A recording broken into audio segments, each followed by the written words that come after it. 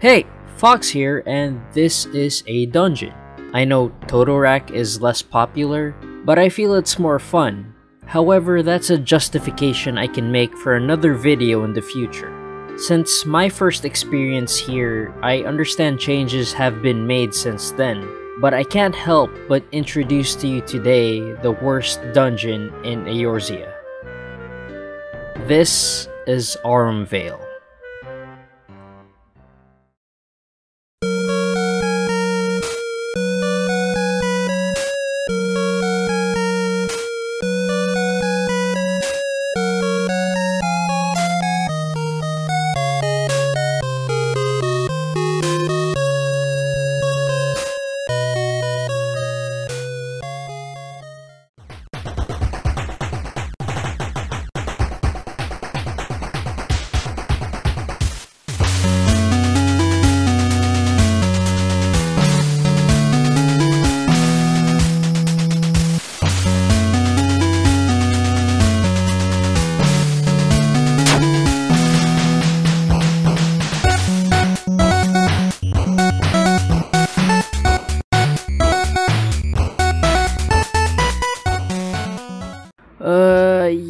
yeah, there's really nothing special here, so as opposed to my review of Haukke Manor, I can merge both my thoughts and guide you through it in one cohesive flow.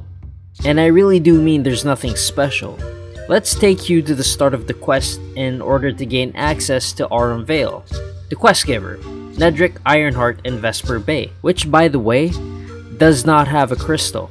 And He's just tired of hearing your exploits all the time, non-stop. So hey, let's just send you to your death and tell you about Aurum instead. Fantastic. Dick. And if you really like that bit of story as to how you got there, getting there is equally as intriguing. And by that I mean it really isn't. Now there are two ways to get there, with one having you to teleport to Fallgourd Float and walk all the way west out of the North Shroud, running deep into the Coerthas before getting there, so yeah, there's only one way of getting there. So haul ass to Revenant's Toll and exit north, then head west where Willielmus unlocks the dungeon for you, but not before he warns you of the stuff inside that could get into your lungs and do some real damage. The kind of fumes that have taken the lives of previous adventurers. You know, the stuff that you'll probably need a mask for. Upon viewing the map, you'll notice that the dungeon is of a simple, linear design, and if you're familiar with some of the videos I've made about this game, you'll know that it's not quite what I prefer, but in this case, it's an actual positive, given how the rest of the dungeon plays out. The primary feature of Aurum Vale would be these piss yellow puddles of gold bile, which is the result of sulfur, mithril ore, and water. These cause extreme discomfort and gradual HP loss when standing on it. I call this a primary feature because the first room, filled with F-stools, Nethernixes, and Lilies of the Vale, are essentially dotted with these puddles. There are vents that shoot out jets of steam that could push players into these puddles. I think when the community talks about this dungeon, this room is the source of all the vitriol. The amount of puddles and enemies with very few safe spots in between leave such a poor first impression. So good luck positioning your encounters, really. Good luck! Past the first area, you'll find yourself in the lock, facing against the locksmith, the first boss. Tanks should expect a 100 lashings melee attack, while all party members should expect a randomly targeted gold dust AoE attack that deals moderate damage. But those are boring attacks. No. The entire party must watch out for the gold lung party-wide debuff. Any more than 2 stacks and you're done. Do your healer a favor and eat a morbol fruit nearby to remove the debuff at 2 stacks. Also watch out for puddles. Or not. You could just wipe and abandon the entire dungeon. Afterwards, you'll find yourself in the banded lid that has one gold vine surrounded by morbol seedlings and morbol fruit, which upon activation become morbol seedlings, so try to take down as many as you can before they sprout. It may seem overwhelming, especially with even more puddles here, but just trust in your DPS and avoid the gold bile. Now, the area before the coin counter has diremites, wasps, bats, and banemites. Some are patrolling back and forth, but it's possible to just sneak through the middle with a bit of coordination and take down the creatures guarding the entrance.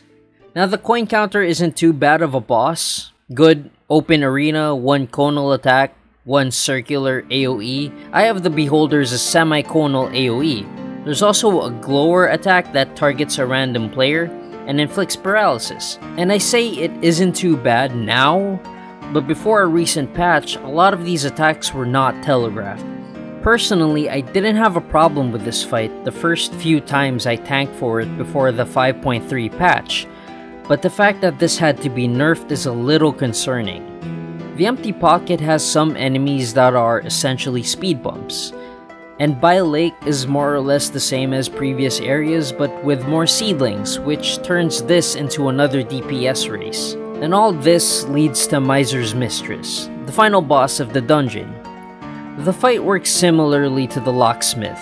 The Mistress casts a party-wide debuff, Hook Burrs, which causes small damage.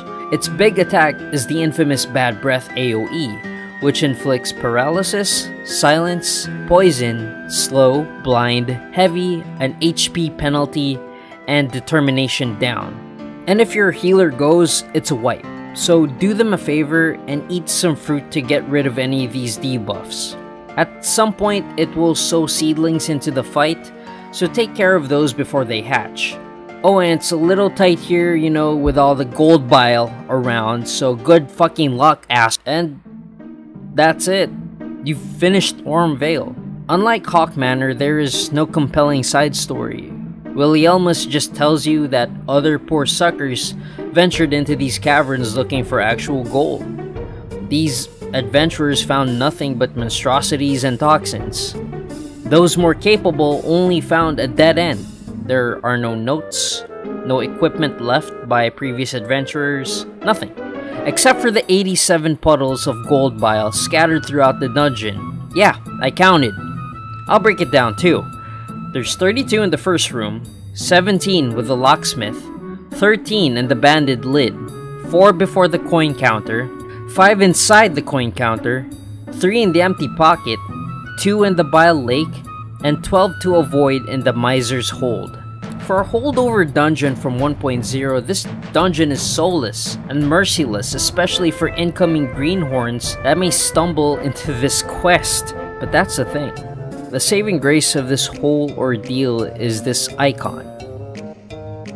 It is born out of a side quest. While the dungeon itself is a dick up the ass, the devs have shown us mercy.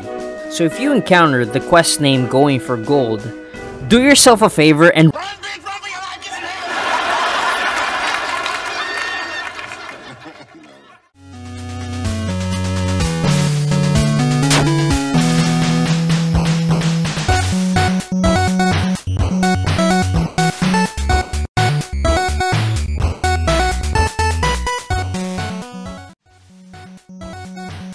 Hey, I hope you enjoyed that. Please like, share, and subscribe if you want more FF14 content.